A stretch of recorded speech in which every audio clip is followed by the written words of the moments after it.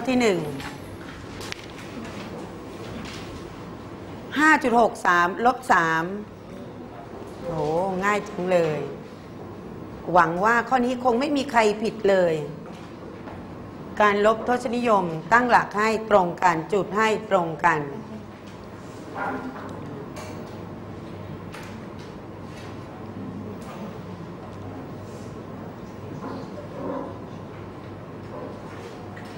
ผ่านนะคะ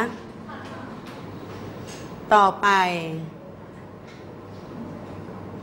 ชัยพัฒน์เสร็จอยังคะ ต่อไปข้อที่สอง8.04 หารด้วย 0.4 การหารทศนิยมอันดับแรกมองไปที่ตัวหาร ถ้าตัวหารเป็นทศนิยมปรับให้เป็นจำนวนนับ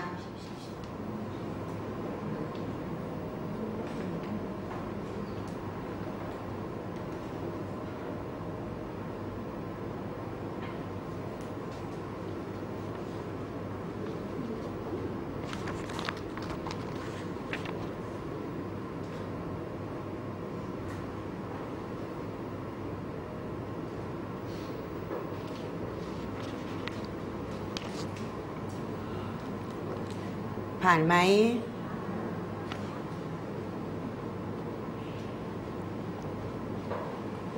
ต่อไปข้อที่3 4.5 คูณ 4.5 การคูณทศนิยม เวลาคูณนำจุดออก เวลาตอบนับจุดรวม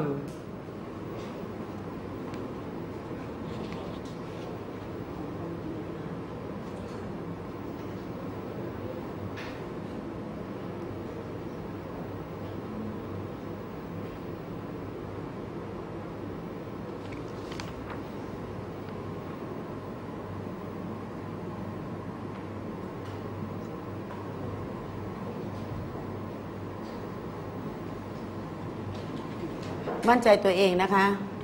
เราคิดไม่ได้คิดไม่ถูกเราก็ตอบตามของเรา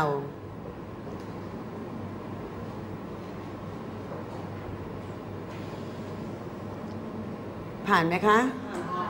ต่อไปข้อที่ 4 เป็นเรื่องของสมการ 4 ขอบวก 10 เท่ากับ 30 อันดับแรกเราต้องมอง 4 ขอก่อนค่ะ มองให้เป็นจำนวนเดียวก่อนว่า จำนวนอะไรบวก 10 ได้เท่ากับ 30 ได้คำตอบอยู่ในใจได้ยังคะ ได้แล้วเอาจำนวนนั้นไปแยกเป็น 4 คูณขอ 4 คูณอะไรได้เท่ากับจำนวนที่อยู่ในใจของนักเรียนอะอ่าสี่คูณอะไร อันดับแรกนักเรียนมอง 4 ขอเป็นจำนวนเดียวก่อนจำนวนอะไรนะ บวกด้วย 10 เท่ากับ 30 ตอนนี้ได้แล้วเก็บไว้ในใจจำนวนนั้นจำไว้เลย เอาจำนวนนั้นมาแยกเป็น 4 คูณขอ ถ้าตัวเลขอยู่ติดกับตัวอักษรมันมันมีสภาพเป็นเครื่องหมายคูณค่ะ คูณกับอะไรอะอะไรร้องโอ้ยเลยเหรอ ยังไม่ได้ทำอะไรเลยร้องโอ้ยแล้ว คิดดี ๆ ลูก ต่อไปข้อที่ ข้อที่ห้า ให้นักเรียนทำให้เป็นเศษส่วนอย่างต่ำเศษ 24 ส่วน 288 ให้นักเรียนหาตัวหารร่วมค่ะ ตัวหารร่วมมาใช้ในการตัดทอน นึกเลย ถ้านักเรียนมองให้ออกคือ ถ้านักเรียนไม่จำเป็นต้องตัดครั้งเดียวจบ นักเรียนก็มองไปทีละขั้นทีละขั้น แต่ถ้าเกิดใครอยากตัดครั้งเดียวจบทำอย่างไร นักเรียนก็เอา 24 กับ 288 ไปหาหอรมอ พอนักเรียนได้หอรมอแล้วเอาหอรมอมาเป็นตัวหารร่วมค่ะ จบครั้งเดียวจบ แต่ถ้าเกิดใครตัดทอนเป็นก็ตัดไปเรื่อย ๆ เลย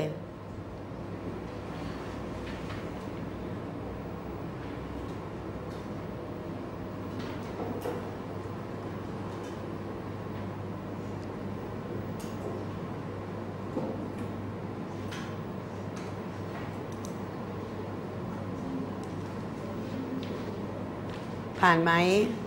ใครยังไม่ผ่านยกมือค่ะ อะเดี๋ยวรอสอนศิลก่อน วันนี้ใครได้เต็มสิบถือว่าเก่งมาก แต่เกณฑ์การผ่านยังยงคงอยู่ที่ 8 คะแนน สอนศิลผ่านไหม ต่อไปข้อที่ 6 เศษ 35 ส่วน 36 ลบเศษ 7 ส่วน 18 ให้นักเรียนหาคำตอบค่ะ การลบเศษส่วนอันดับแรก นักเรียนอาจจะใช้วิธี 1. ปรับตัวส่วนให้มีส่วนเท่ากัน ปรับตัวส่วนให้มีส่วนเท่ากัน โดยการนำตัวส่วนไปหาครนอแล้วนักเรียนก็ปรับทั้งสองจำนวนให้มีตัวส่วนเท่ากัน พอได้แล้วก็ทำให้เป็นอย่างต่ำหรือใครจะใช้วิธีการหากรนอก็ได้ ได้กรนอแล้วหาจำนวนที่หนึ่งนำส่วนหารกรนอคูณเศษใส่ หาจำนวนที่สองนำส่วนหารกรนอคูณเศษใส่ อย่าใช้ความรู้รอบตัว ถือว่าเป็นการทำผิดศีลนะคะ ลักขโมย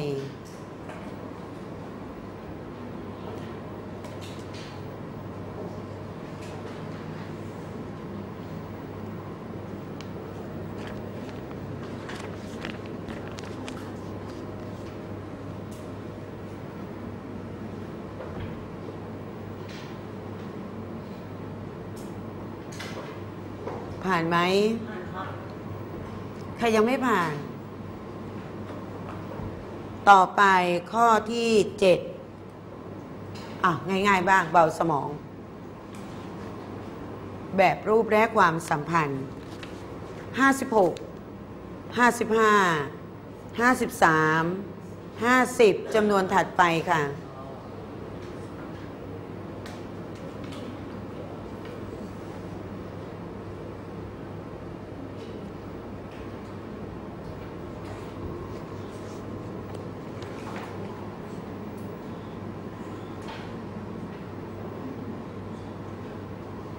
ต่อไปผ่านไหม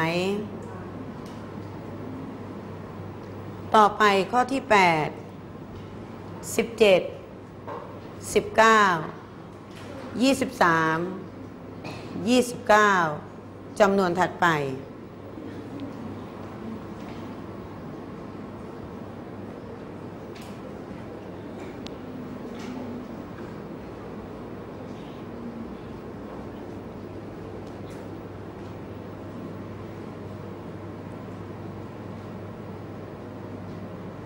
อย่าคิดมาก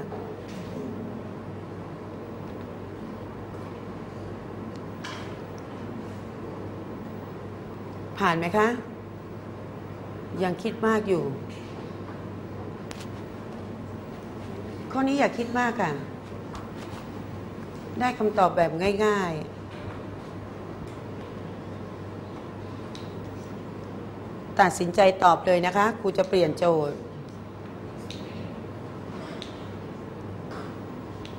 ต่อไป ข้อที่ 9 เศษ2ส่วน3ของเศษ 12 ส่วน 20 คำว่าของคือเครื่องหมายคูณเป็นการคูณเศษส่วนเท่านั้นเอง นักเรียนใช้วิธีการตัดทอน พยายามตัดทอนให้ครบ 4 คู่อ่าลูกโบลูกโบ ตัดทอนให้ครบ 4 คู่ ถ้าครบ 4 คู่แล้วมันจะเป็นลูกโบ ได้คำตอบดูแต่เพียงว่าเป็นเศษส่วนแท้หรือเศษเกิน ถ้าเศษส่วนแท้ตอบได้เลย เศษเกินปรับให้เป็นจำนวนคละ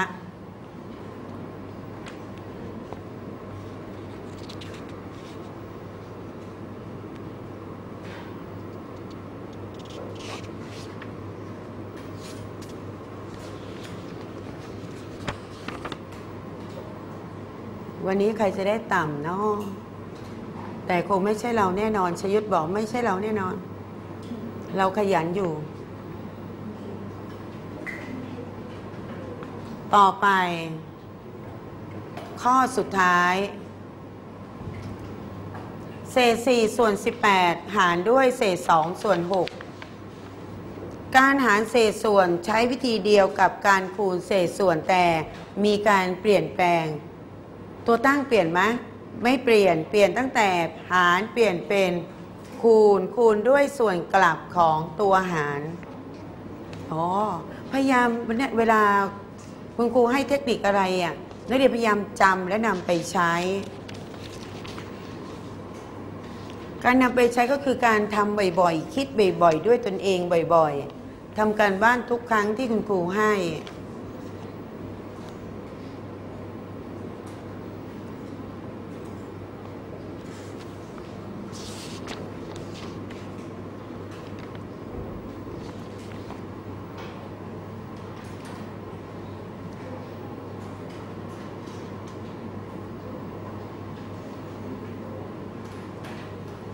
เอาละค่ะ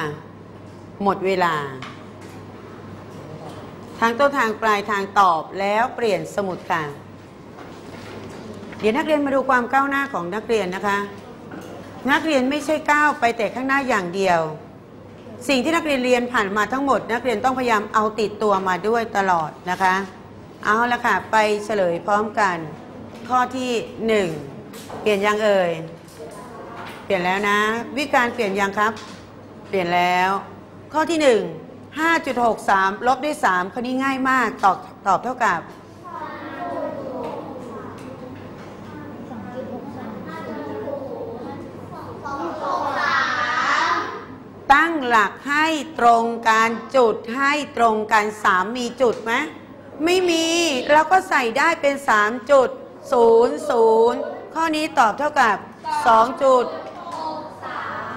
ไปแล้วข้อแรก ต่อไปข้อที่2เป็นการหาเลื่อนจุดเลื่อนไปกี่ตำแหน่ง1ตำแหน่ง ข้อนี้ตอบเท่ากับ 20.1ปุณณรินทร์ถูกคนเดียวเองอ๋อถูกแต่ไม่ได้ตอบดีคะ ถ้าไม่ตอบถือว่าผิด แต่ครั้งนี้ยกให้นะ ยกให้ยกให้อ่าต่อไป 4.5คูณ4.5 20.25 ต่อไปข้อที่ 4 4 ขอบวก 10 เท่ากับ 30 ขอไข่มีค่าเท่ากับ 5 ถูกต้อง 4 5 20 บวก 10 เป็น 30 ต่อไปข้อที่ 5 ตรวจก่อน อย่าเพิ่งไปดูคะแนนตัวเอง เศษส่วนอย่างต่ำของเศษ 24 ส่วน 288 เท่าไหร่คะ เศษ 1 ส่วน 12 ถูกต้อง ต่อไปข้อที่ 6 ข้อนี้ตอบเท่าไหร่ลูก ข้อที่6เศษเศษเจ็ดส่วนสองเศษ7ส่วน12ถูกต้อง ต่อไปข้อที่7 56 55ลด1ลด2ลด3ต่อไปลดเท่าไหร่ ลด4ดังนั้นตอบเท่ากับสี่สิบหก46ต่อไปข้อที่8เห็นคิดหนักหน้าดูเลย ข้อนี้ตอบเท่าไหร่คะสามสิบเจ็ด37 ผิดค่ะ 17 19 23 29 31 มันคือจำนวนเฉพาะ โอ้ยเลย ใช่ไหม ใช่ เห็นไหมบอกแล้วว่าไม่ต้องคิดมากก็ถูกแล้ว อ้าวชัยพัฒน์ไม่ต้องประท้วงเลย ถูกแล้ว ต่อไปข้อที่ 9 ข้อที่ 9 ตอบเท่าไหร่คะ ข้อที่ 9 ตอบ เศษ2ส่วน 5 และข้อสุดท้ายตอบ เศษ2ส่วน3อ้าวแล้วไปดูคะแนนกัน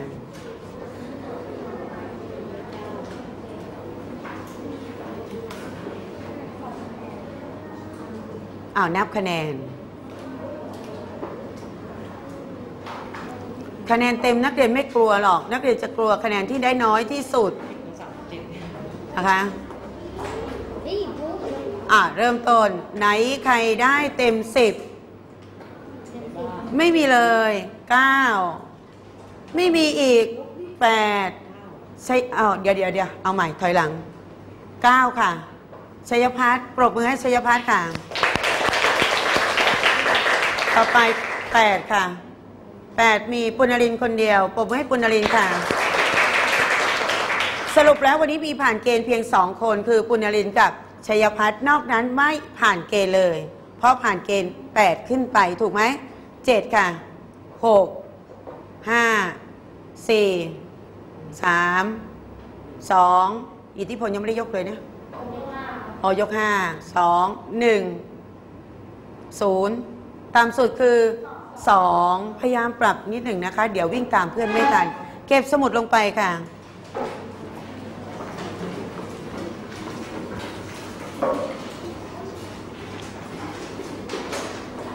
อะเก็บเลยค่ะ มันไม่มีอะไรยากเกินกว่าความพยายามของเรา ความพยายามของนักเรียนก็คือความสนใจเรียนให้ความสนใจต่อการเรียน ดูทีวีตั้งใจฟังคุณครูแค่นี้นักเรียนก็จะได้หมด อ้าวพร้อมยัง พร้อมแล้วตัวตรง ใครยังไม่พร้อมยกมือขึ้น ปลายทางด้วยนะคะ ใครพร้อมแล้วยกมือขึ้น ดีมากเอามือลง เอาละค่ะ ไปดูสไลด์กัน วันนี้ทบทวนเรื่องรูปของสี่เหลี่ยม ลักษณะของรูปสี่